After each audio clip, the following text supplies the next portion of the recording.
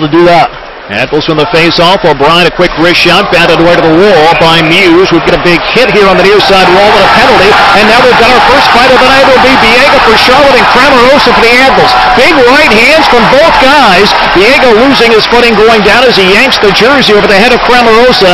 And the line's been jumping in. It didn't last long, but some heavy, furious punches from both guys. Well, it's tough to see the head. I, am assuming that they're going to call something from behind or a board. But uh, didn't have any hesitation there. He was challenged and was able to get his gloves off first, and uh, I give him credit for standing up for himself. Yeah, watch the replay here. Looked like Cramarossa caught, I think that was Trevor Carrick from behind into the wall, so the initial penalty should be on Cramarossa.